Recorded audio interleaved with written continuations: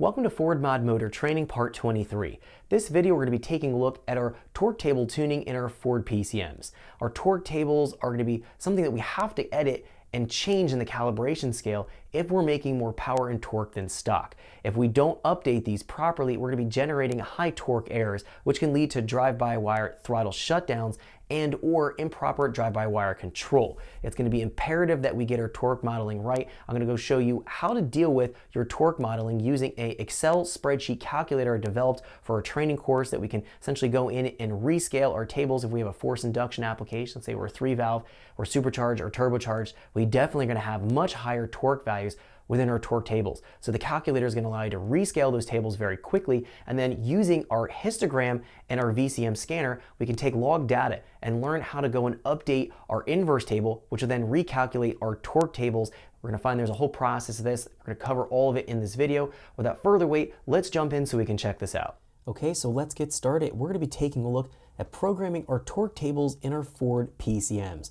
Our torque tables are going to be a necessity to get dialed in, or we're going to find we have all kinds of drive-by-wire throttle control problems. We might go and actually have throttle shutdown. We might get throttle closure at wide open throttle, all kinds of things that we might not want to have when we're driving our car. So let's jump in and take a look at a calibration file. We're going to be discussing the few areas and tables we're going to be looking at and calibrating in this video. It's very, very focused on what we're going to be talking about. Um, we need to make sure that this is, again, going to be accurately represented so that the PCM is going to know what torque to expect. And when we're actually figuring out the delivered torque or what we're measuring, what the engine's actually producing, the torque model and what it's going and seeing are going to be in line with each other. And it's going to be happy and everything else is going to fall in line within our programming. So first thing I want to do is jump in here and open up that file. So let's go to File, Open.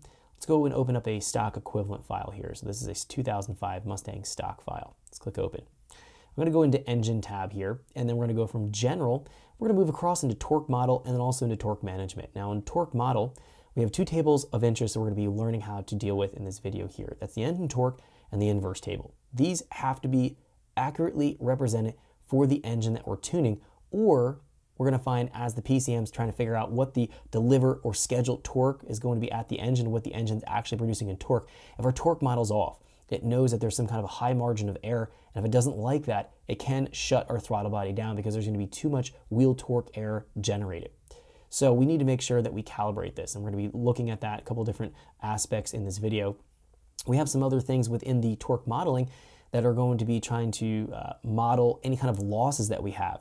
Now the engine torque table here, that's going to be what the uh, ideal or theoretical amount of torque the engine should make before we have any kind of frictional losses, any kind of drag on the engine. We'll find here there's an inertial torque. That's going to be what we have uh, modeled from Ford already. There's going to be a lambda efficiency of fuel effect. That's going to be a multiplier versus the lambda amount that we're operating at. That is going to be affecting what the torque production is out of this particular table. We have a loss here. That's our frictional torque. That's any kind of internal frictional torque that's going to be a loss from the engine. Um, Ford has modeled that. We don't need to change it. So those particular losses or gains, whether it's the lambda efficiency here, inertial torque, or the frictional loss, that again will affect an offset against the engine torque table. So the engine torque is our ideal torque that we'd like to be at before we have any losses. So then the losses subtract from that and we hit our net torque or the scheduled torque to the engine.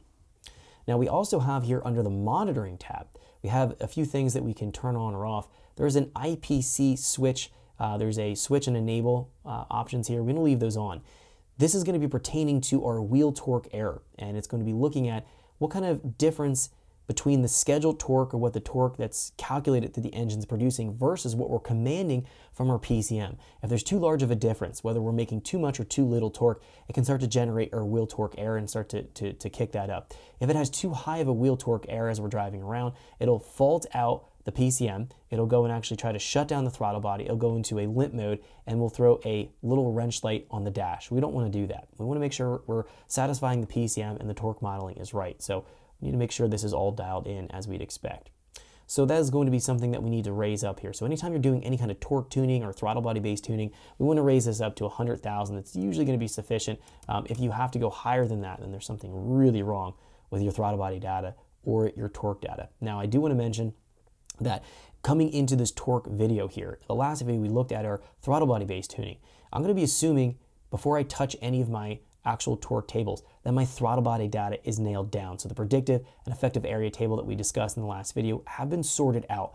I always make sure that I go in and actually deal with the predicted and the effective area tables first before I turn my attention, if I'm still getting wheel torque errors generated in my data logs, before I turn my attention into my actual torque model.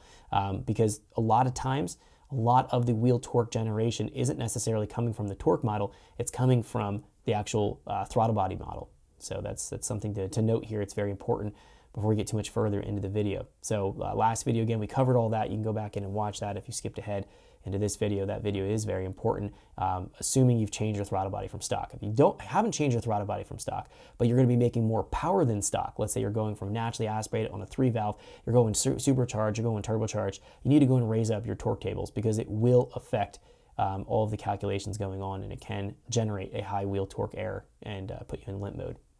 Uh, there is another table here. If we go into torque management, specifically into our driver domain. Thanks for checking out our teaser clip. If you want to see the rest of this video and more than 500 hours of current EFI training we have to offer, make sure you click right here. If you want to go and check out more teaser clips from this training course, click here. And you don't want to miss any of the videos we're going to be releasing on this channel, so make sure you subscribe and click here.